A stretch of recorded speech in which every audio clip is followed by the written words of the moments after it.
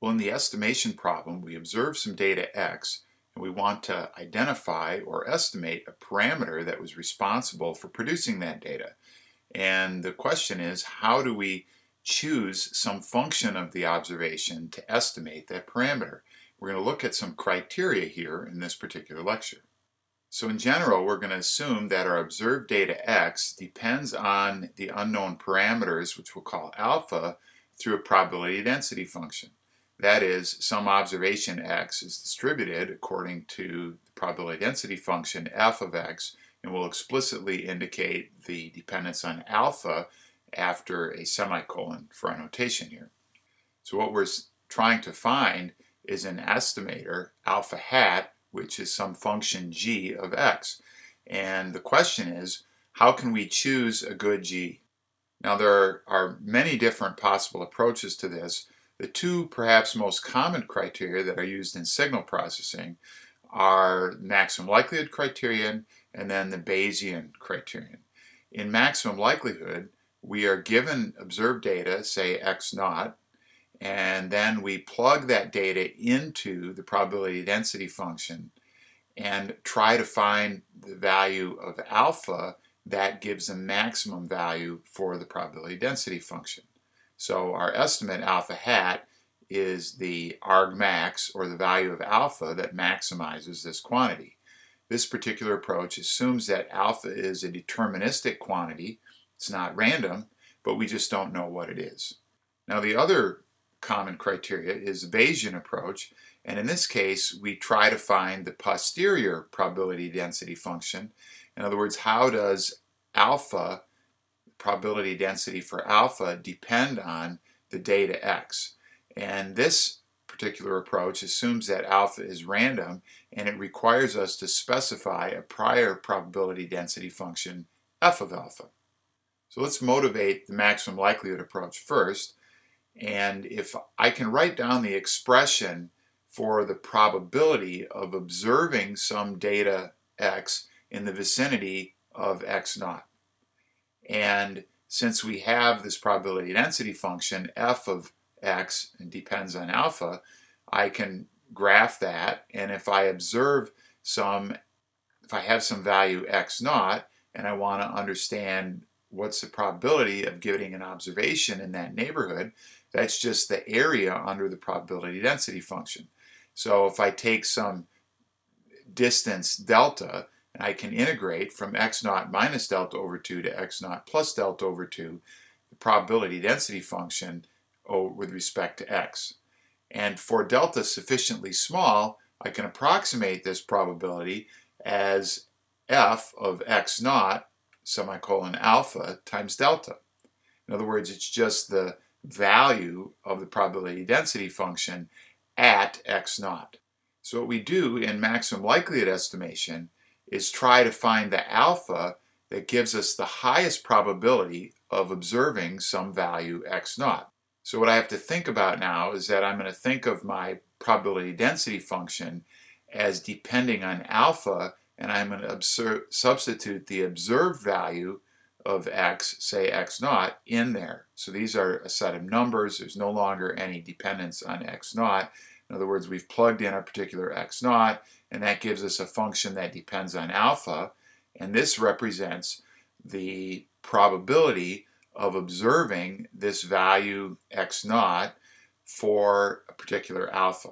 And so then what we're going to try to do is find the particular value of alpha hat that maximizes this probability. And that's what the maximum likelihood estimate uses because it's based on the maximum Um, over alpha of f of our observed data semicolon alpha.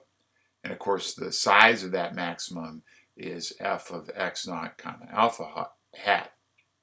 Now, why do we want to use this maximum likelihood approach? Well, it turns out it's fairly straightforward. You just have to specify the prior model f of x comma alpha or semicolon alpha, and then it becomes an analytic or numerical optimization problem once you observe the data. And that's a fairly straightforward thing to approach. Now, The optimization may be a difficult optimization problem, but nevertheless, conceptually, it's fairly straightforward as to how to proceed. The second reason for choosing the maximum likelihood approach is that the maximum likelihood estimate has some very nice asymptotic properties under rather general conditions. And we're not going to go into details of the specifics of the conditions that are enforced and how these properties come about. But basically, as the number of measurements approaches infinity, and that's what we mean by asymptotic, you can show that the maximum likelihood estimate is unbiased. That is, the expected value of alpha hat MLE is equal to the true value alpha. You can also show that as the number of measurements gets very large, that the maximum likelihood estimate achieves the smallest possible variance of any unbiased estimator. There may be other estimators that have the same variance, but there's none that are guaranteed to be better. And so this is a nice property and it tells us a certain measure of goodness of the maximum likelihood estimator.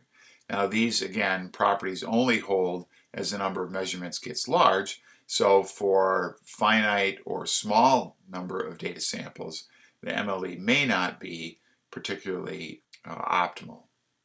Now the basics behind Bayesian estimation are that if I'm given a model for my data, in other words, how does my data depend on my unknown parameters, and a prior probability density function for my unknown parameters, I can find the posterior probability density function f of alpha given x. So in other words, I say given x because I'm going to assume that I've observed some x at this point, and now I want to find out what is the probability density of alpha given that I observe that particular value of x, and we call that the posterior. And this is accomplished by using Bayes' rule. Because Bayes' rule relates these various quantities, it says that the posterior conditional probability distribution f of alpha given x is equal to the prior, or the model, f of x given alpha, times f of alpha divided by f of x. And a lot of times we don't need to know f of x because we can uh, simply use f of x given alpha times f of alpha and make sure that we normalize this to have unit probability over all values of alpha and that'll take care of the uh, f of x division here. So once we have this posterior probability density function, it tells us how likely particular values or how distributed alpha is given that I observed this data. I'm going to try to find my estimator as value alpha hat that minimizes the average of a non-negative cost function of the error between alpha hat and the true value alpha. So we can look at some specific cases here. If I assume that my cost is the mean squared error, then I can write that as the magnitude of alpha hat minus alpha squared, it turns out that under that condition, your maximum, your Bayesian estimate alpha hat is going to be the mean of the posterior probability density function. So what's the mean value of alpha? And that will minimize the mean squared error. We can do other things as well, like look at an estimator that minimizes the mean absolute error. And in that case, our cost function is just the absolute value of the difference between our estimate and the true value. And you can go through the math and show that in this case, your Bayes estimate is going to be the median of the posterior density function f of alpha given x. And then one other estimator that's often used is called a maximum a posteriori estimator. And that often is just motivated as the value of choosing the estimator that maximizes the posterior probability density function. But that also corresponds to a particular cost function which says that the cost is 1 if we're not equal to the true value and 0 if we are equal to the true value. If you try to minimize this particular average cost, you end up with choosing your estimator as the maximum of the prior or posterior probability density function. Now, why take this Bayesian approach? Well, one advantage is it is possible to find the true optimum estimators. Like if you want an estimate that minimizes the mean squared error, the Bayesian approach allows us to try to do that. Another advantage of the Bayesian approach is that it represents a very powerful framework for incorporating prior information. If I have physical knowledge based on some constraints, like I know that a parameter has to be positive or that it's very likely to be in a certain range, then I can incorporate that information into the prior that I use when I compute the posterior density. There's also a lot more flexibility than we've hinted at. So this is, leads to a very powerful framework. The challenge with the Bayesian approach is that it can be difficult to find this posterior density function. And then of course, if you're wrong about your prior, you then you're pushing your estimator toward a wrong direction.